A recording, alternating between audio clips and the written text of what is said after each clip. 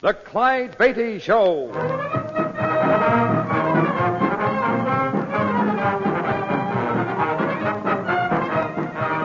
The world's greatest wild animal trainer, Clyde Beatty, with an exciting adventure from his brilliant career. The circus means thrills, excitement, snarling jungle beasts. The circus means fun for young folks and old. But under the big top, you see only a part of the story. The real drama comes behind the scenes where 500 people live as one family, where Clyde Beatty constantly risks death in the most dangerous act on earth. This master of the big cats has journeyed to Africa and India, hunting down his beasts in their native jungle. All of this is part of the Clyde Beatty story. It is entitled Danger Unrehearsed.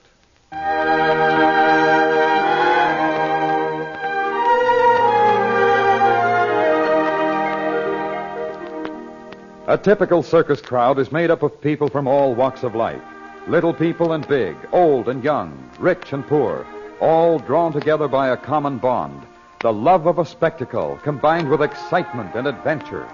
And yet, few people realize the drama that takes place behind the scenes or the events leading up to some of the greatest thrills ever witnessed. Indeed, many of the stories born under the big top sound unbelievable, especially those which have to do with the jungle performers, the big cats. But they can happen. Ask any animal trainer. In fact, ask the greatest of them all, Clyde Beatty. Yes, some of the strangest experiences in my career sound like the most exaggerated fiction. For instance, I remember a few years ago when the circus was starting a three day run in Omaha, Nebraska. It was a hot July afternoon and almost time for our opening matinee.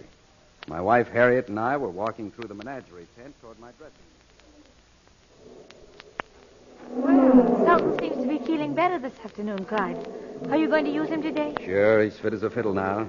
I think he was only half sick and half playing possum in the first place. Oh, he's hardly acting like a possum now, at any rate. But I'm glad he's all right again. He's really the most beautiful tiger in the act. And the meanest. Yes. Yes, I know. Clyde, why do you use him? He does nothing but cause trouble. If he isn't fighting the lions, he's springing at you every time you turn your back for an instant. you seem to forget something, dear. That's what people pay good money to see. If I had a bunch of tame tabbies in that arena, everybody'd be home playing ping pong instead of going to the circus. Oh, there you are, Mr. Beatty. Been looking for you. Well, what is it, Hayes? It's Empress. I don't think you'll be able to use her for a few days. Empress? What do you mean? What's happened to her? She's limping all over her cage. Got a sliver in her front paw. A sliver? Yeah. Hayes, didn't you fix that broken board in her cage, the one I told you to fix four days ago in Sioux City? Well, no. There's been so much to do, I just haven't had time. I notice you've had time to have a few drinks. Ah, I only had a couple, you know. You know the rules as well as I do, Hayes. Fine cage man, you are. Alcohol and wild animals just don't mix. And when you lie down on the job until the animals suffer, it's twice as bad. Ah, she'll be all right. Just got a little infection. Sure. Just a little infection. I've got a good mind to fire you right here and now. I've put up with too much from you already. Now, wait just a minute, Beatty. I ain't done nothing. Clyde, please, don't be too hard on him. Well, all right. But get this, Hayes. I don't intend to speak to you again about either the drinking or doing your job. You understand? Sure, sure, I understand. You don't have to be so high and mighty about it, Mr. Beatty. Go find the vet and help him get Empress in a collapsible cage so he can look after that splinter. And do it now. All right, I'm going. And tell him to stop by my dressing room when he's through. Come on, Harriet. Let's get on over there.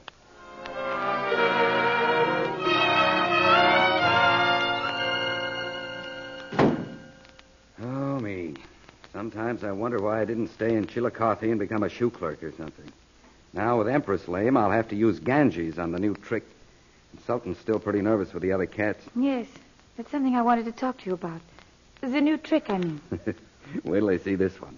Four months I've worked on it, not counting the time in winter quarters. Today, the public will see it for the first time. Do you have to do that trick today, Clyde? Couldn't it wait another week? Long enough for you to rehearse it some more? Why, Harriet, you know I've got to do it today. Have you forgotten the publicity releases? The papers have all printed that a big surprise is in store for everybody today. A brand new trick, never before seen. There's several reporters coming out this afternoon just to cover it after they interview me. Mm, yes, I know all that, but. What's bothering you, Harriet? Why don't you want me to do it? Oh, I don't know, really. You'll probably laugh at me, but I have the strangest feeling. Call it woman's intuition if you will, but that trick is so dangerous. Clyde, I'm afraid.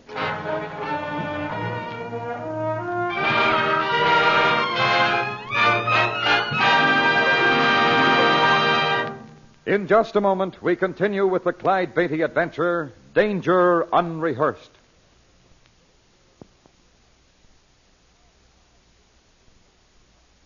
And now, back to the circus grounds and Clyde Beatty.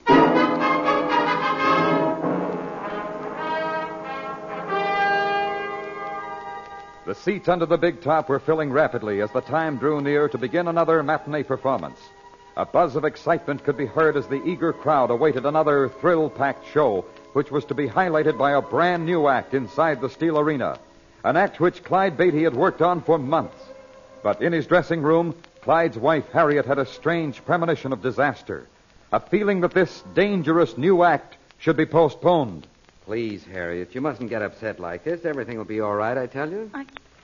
Oh, I'm sorry, Clyde. I just can't help it. I couldn't put it off now if I wanted to. Why, the people would run me out of town on a rail if I didn't live up to my promise. I'd rather see you run out of town than carried to a hospital. Oh, I suppose you're right. I'm sorry, Clyde. I know you can do it all right. That's my good girl. By the way, when those reporters stop in for their interview before my act, how about sticking around in case they want some pictures? I think a little more beauty and a little less Beatty might be a good idea. oh, no. It's you they want to interview. And anyway, I talked to them this morning. Uh, told them you'd reserve a box, and they agreed to it. Use it on one condition. One condition? What's that? That I sit with them. the dogs. They know they've got us on a spot. But with you to charm them, they'll probably give the new act rave notices whether they like it or not. Hey, anybody home in there? Yeah, come on in. It's not locked. Uh, Joe Miranda? Uh-huh. Uh, hiya, Jungle Jim. Hi. Any of your little pets in here? No, no, no. It's safe, Joe. Come in. Yeah, always like to make sure. Oh, hi, Harriet. How are you? Fine, Joe. You seem to be in good spirits today. Uh, that's from the high altitudes, Harriet. Never yet saw a trapeze performer that wasn't giddy down on the ground. Want to take my place up there someday, Clyde? you think I'm crazy? Why, I wouldn't get up and swing on one of those high trapezes for all the gold in Fort Knox. And I wouldn't get in that cage full of cats of yours for all the diamonds in South Africa. well, now that you've both thrown away a fortune and decided to stick with something safe and sane, maybe I can get a word in. How's May, Joe? oh, she's okay. Still harping on the same old tune, though. I thought she might already be here. Said she'd meet me about now. Yeah, she's still wanting to buy a farm and raise chickens. Yeah, that's all I hear. Joe, you're getting too old for aerial work. Joe, we've saved enough money. Let's buy a little farm and settle down. Joe, your timing is off. Uh, I'm going to start wearing earplugs if she doesn't cut it out. Maybe she's right, though. Everybody's got to retire sometime, you know. Hey, now, wait a minute, Harriet. Don't you start that on Joe. Oh, heaven help me if she does, Clyde. How could I retire? I'd go nuts on a chicken farm. Can't you just picture me gathering in the eggs? ah, May'll get over it.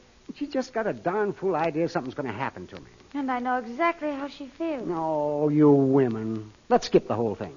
I'm not retiring, and that's that. Well, the big top sure wouldn't seem the same if you did, Joe. By the way, how's your new man working out? Oh, he's coming along okay. Needs some more experience, is all. Oh, that's probably me now. Come in. Hello, Clyde. Harriet. Hi. Sorry I'm late, Joe. I just got here myself, baby. It's good to see you, May. Where have you been hiding lately? Hiding. It's hardly hiding I've been doing. I've been working for Sam over in the cookhouse. In fact, I'm due there now. well, I didn't know you liked to cook that much. oh, it's not that. Just something to keep me busy. I get tired sitting around day after day with nothing to do. I tried to get her to take up knitting, but she wouldn't do it. Knitting. If you'd get some sense, Joe Miranda, and buy us a little farm, I'd have. Uh oh, here we go again, kids. May, you wouldn't really want Joe to retire, would you? You can bet your sweet life I would. We got plenty of money, and I'm sick to death of traipsing all over the country, living out of a trunk and never getting set long enough to take a good breath. But May, Joe here is one of the best in the business. He's right in his prime. Pry my eye. He's getting too old. His timing's off lately. But of course he blames it all on his new man. Well, you know as well as I do that that's all that's the matter, May. Look, Joe, you can't fool me. You almost missed an easy transfer the other day. Almost flopped right into the net. Oh, stop exaggerating. The day I miss a transfer and fall into the net, I will retire and buy a farm. Sure, you've been saying that for a long time. I'd just like to see you make that a promise. Well, all right, it is a promise. But don't hold your breath till it happens. There's nothing wrong with my timing. Well, no use arguing about it. But I got witnesses, Joe. Harriet and Clyde. Remember what Joe just promised. Sure, we'll remember. But I agree with Joe. You're liable to be in for quite a wait. That's calendar, boss. Oh, hey, look at the time. I better get going. Here, come on, May. I'll walk you over. I'll see you later, kids. Bye, May. Joe. so long. Come back after the show. Thanks, we'll do it. Bye. Gee, I hate to see May and Joe arguing all the time. They're both swell people. Sure they are, but their problems are their own business, I guess. They'll just have to work them out themselves. Clyde, I think I'll run and get a sandwich. I'll be back in a few minutes to take the reporters to their box. Okay? Sure, only don't be gone too long. I may need moral support.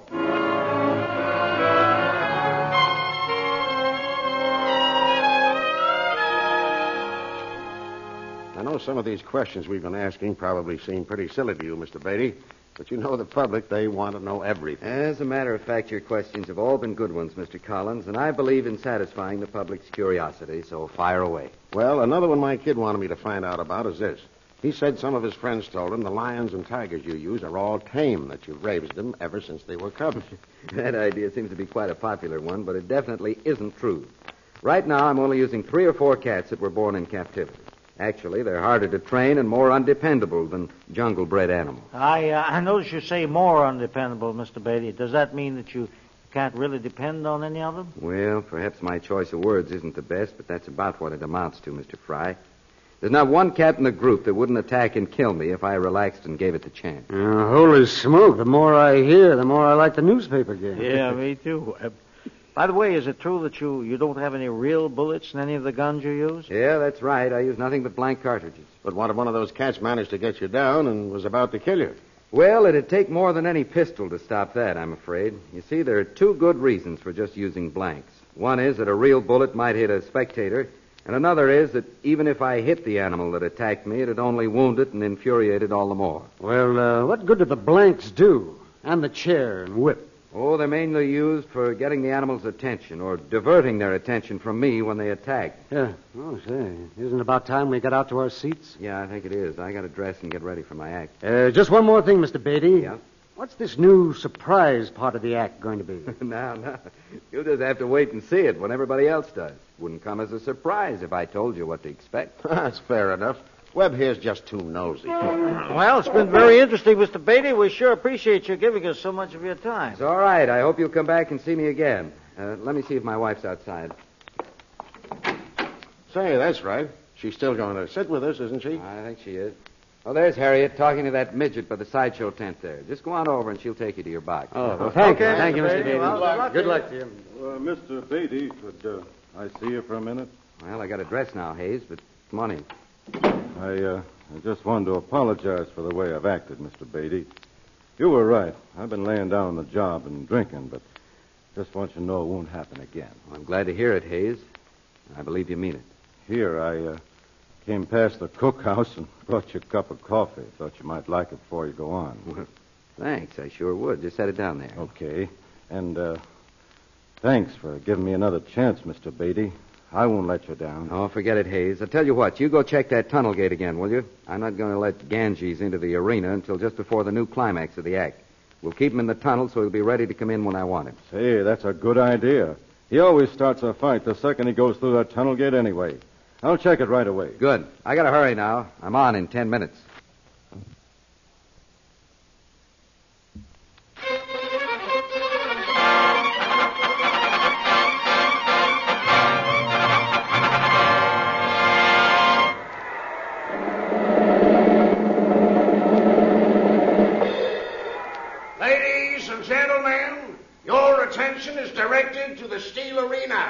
Presenting the largest group of jungle-bred wild animals ever assembled at one time.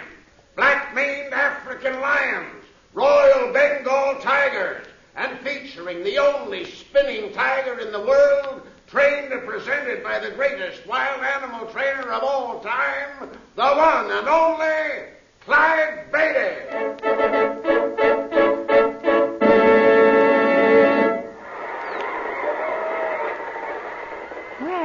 It won't be long now, gentlemen. Oh, you said it, Mrs. Beatty. Wow. Look at those brutes come roaring into that big cage. You know, somehow I think I'd rather be watching the whole thing from this box than from where your husband is, Mrs. Beatty.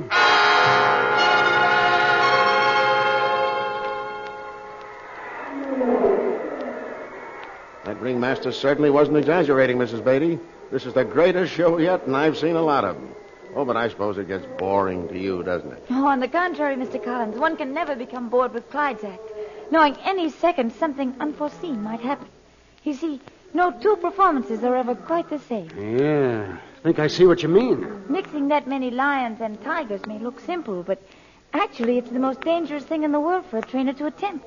Uh, is it true that your husband's the only one who ever succeeded in doing it? Uh, mixing that many, I mean? Yes, that's correct. He's worked as many as 54 lions and tigers together at the same time. Uh, did you say he's about to do the new surprise trick, the climax? Any moment now, Mr. Collins. Oh, man, look at that big brute paw at his chair. I wouldn't stand in front of that lion for a million bucks. That's Simba, one of the meanest of the lot. I think he's especially upset because of Ganges, that tiger that's pawing at the tunnel gate trying to get into the arena. Look, the lion knocked the chair right out of his hand. Well, he slipped. Holy mackerel, he's flat on his back. The lion's grabbed him. Look, he's picking him up by the belt. Well, how do you like that? He's carrying Beatty around the arena like a sack of flowers. Hey, that's the greatest stunt I ever hope to see. This is a surprise climax, Mrs. Beatty. It's the. Uh, why, Mrs. Beatty, what's the matter? You look as pale as a ghost. You don't understand. That's not part of the act. Clyde's at his mercy. Simba will kill him.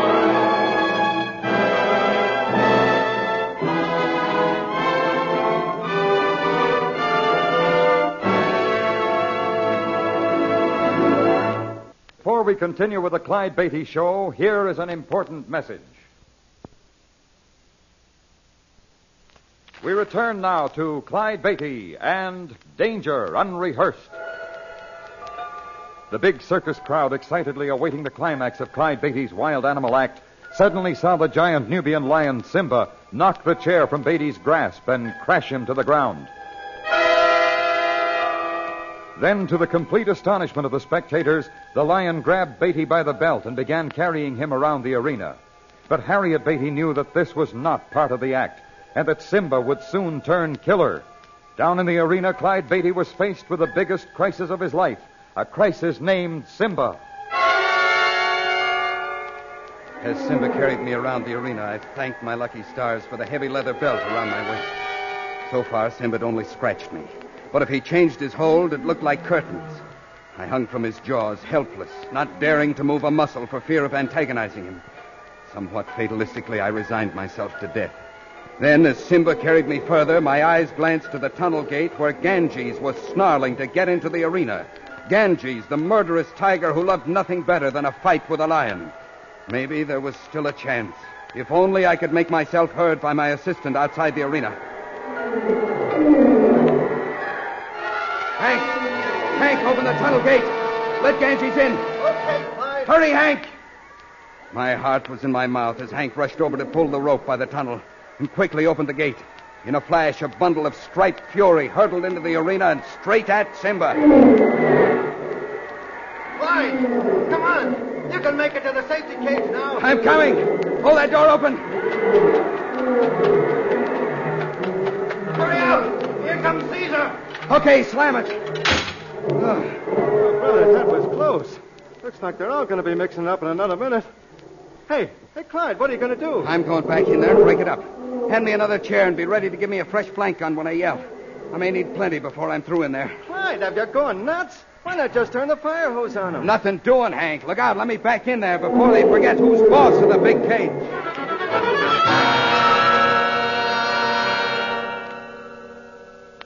Well, what do you think, Doc? I think you're the luckiest man alive, Beatty. Fortunately, those scratches aren't deep and should heal quickly, but we can't afford to take any chances, so that's why I gave you the tetanus shot. That darn needle was worse than the bite, but thanks anyway, Doc. I still can't understand it, Clyde. When Simba first pawed at you, you didn't seem really to be trying to keep him from knocking the chair out of your hand. And you were so slow in sidestepping his charge. Yeah, that's got me puzzled, too. I began feeling sort of funny almost as soon as I entered the arena, almost like I was drowsy. What's this? Drowsy, you say? Yeah, Doc. I didn't think much about it at first, but by the time Simba started acting up, I discovered I was terribly slow in my reflexes and felt sort of weak. Hmm. Uh, what did you have for lunch, Clyde? Just a cup of coffee before going on. Well, you do that frequently. Surely that couldn't upset you. No. Of course, coffee couldn't. The only thing what, is. Clyde? Hayes brought me that coffee.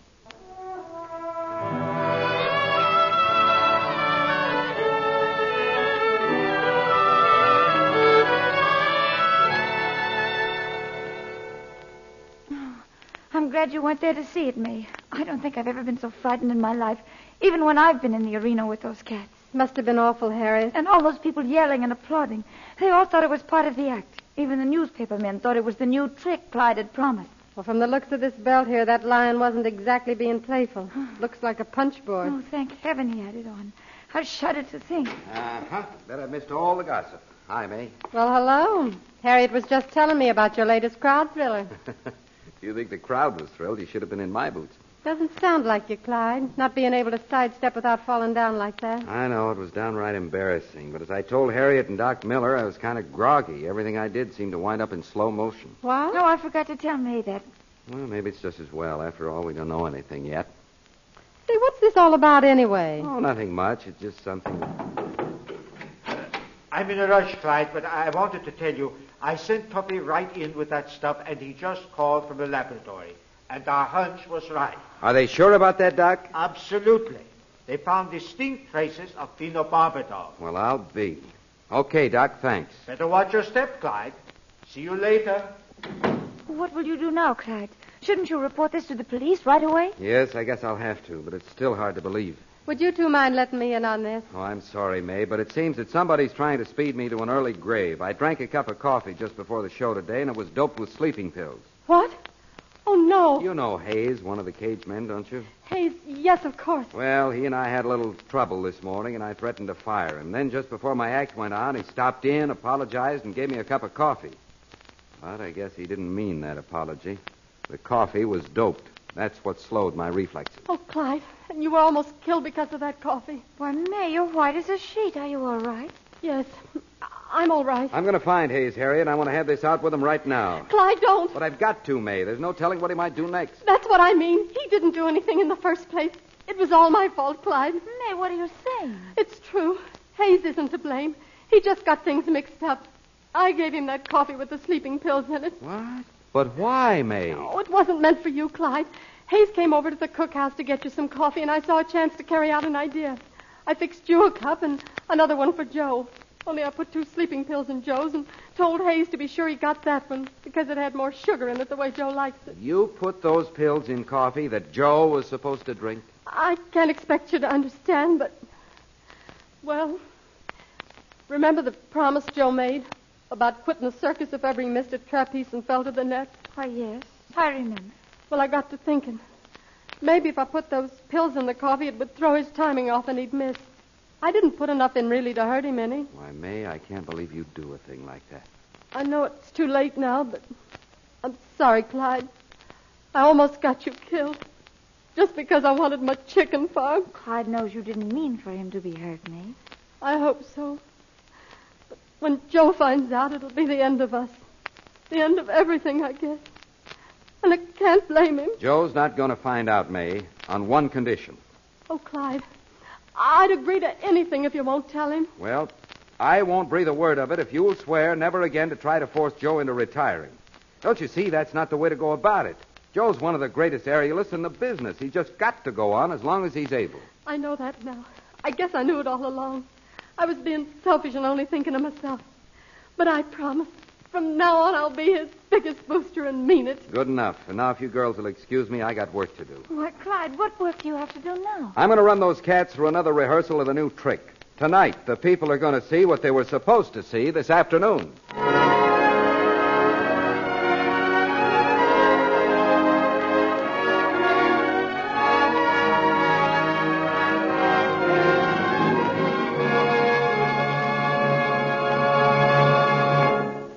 Clyde Beatty will be back in just a moment with an exciting preview of next week's adventure. And now, a brief but exciting preview of our next Clyde Beatty drama, Elephant Stampede.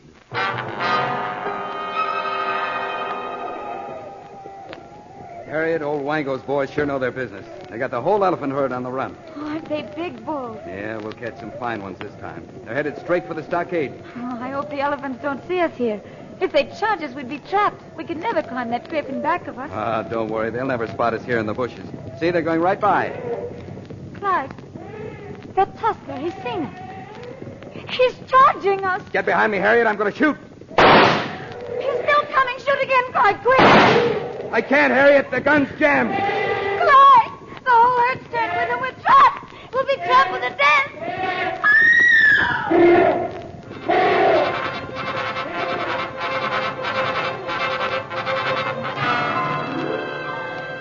We were on an expedition to capture elephants in the heart of Africa, the Dark Continent. For days we traveled through dense jungle, through the dread Ituri forest, land of the pygmies, living always on the edge of terror. For we'd been warned that the tiny men were deadly. But the threat of the world's smallest men was forgotten as we faced a charging herd of the world's largest animals. In Elephant Stampede, you'll live with us through one of the most dangerous experiences of our careers.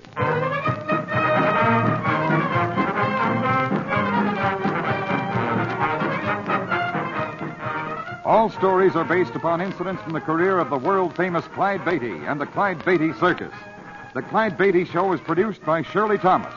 Danger Unrehearsed was written by Robert T. Smith.